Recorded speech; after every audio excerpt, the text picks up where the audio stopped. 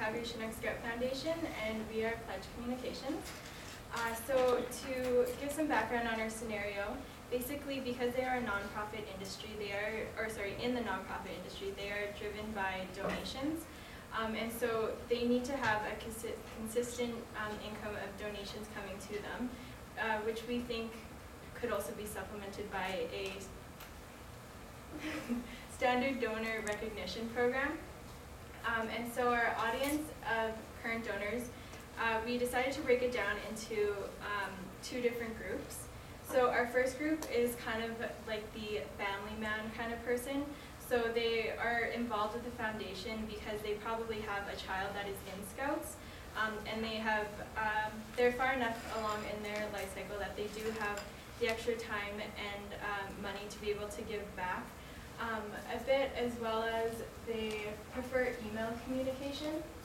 Our second group of current donors um, are people who are even later in their life cycle. They have uh, more disposable income to be able to donate to uh, the foundation, and as well, they would have had some sort of uh, involvement with the with Scouts at some point in their lives, either now that they have like grandchildren in it, or they could have been Scouts themselves when they were young children.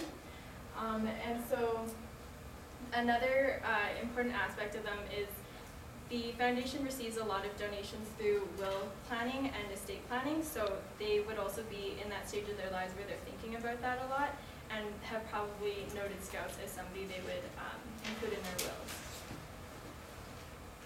Okay, and so for goals and objectives, we picked as our overall goal to increase donations to the CCSF, which is also a task management goal.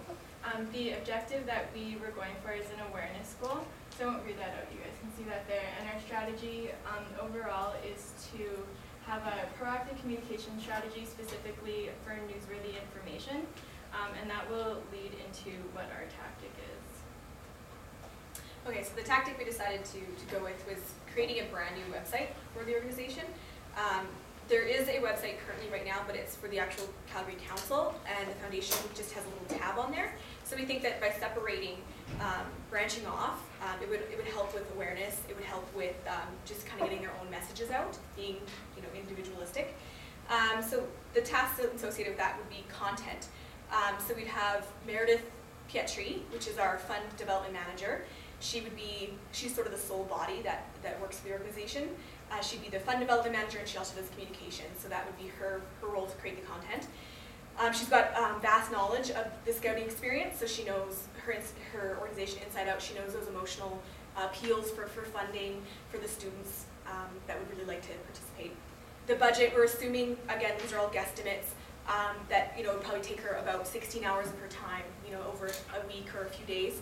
Um, we're assuming she makes a certain salary, again, total assumptions, so that cost would be about around $400, $350. The evaluation of that content would be, did she cover all off all the information? Um, we'd obviously get her to have a second set of eyes to look at the content on that website. Um, then we had the design of the website. Uh, we would have this outsourced to graphic designers because we don't feel that she would have the, the right tools to make a very visually appealing um, website. And you know, right now that we can get some affordable options for her. Um, so the strategy of getting the design outsourced would be, again, visually stimulating lots of pictures, showing the positive messages of the scouts. Um, the budget, we have no idea. We'd have to do further information on that, but we could get back to you.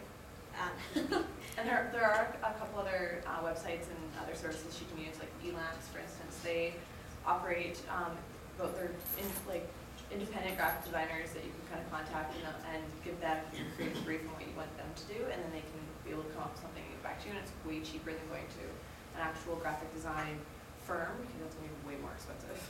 Um, and so the evaluation of the, the, this design would be, does it pass usability testing? We'd want to have some feedback on the initial, to like do a little launch with just a few people, almost do a focus group or some sort of, um, just to see if it'll work um, for the organization. And if people like it. Um, the final thing of the task is the launch. Um, this would be very important because we also we have to outsource the graph to graphic designers and Meredith. should have a say in what what was on the website.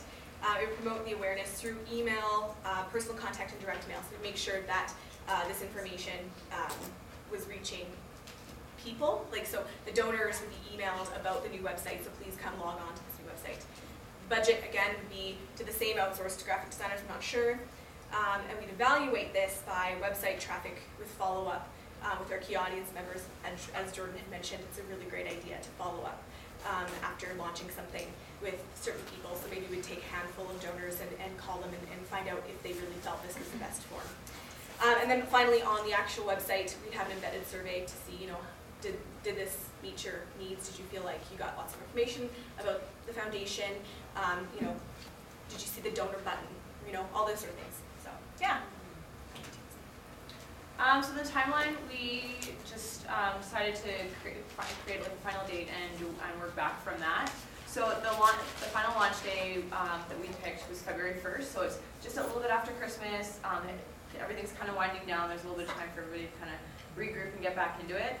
Um, design and approval would be done by January twenty-third, so like it leaves about a week and a few days for content to be uploaded and final usability testing to be completed.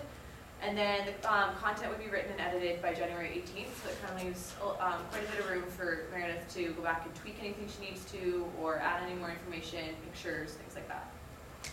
okay, and that concludes Yeah, our just go presentation. back a slide for me. Um,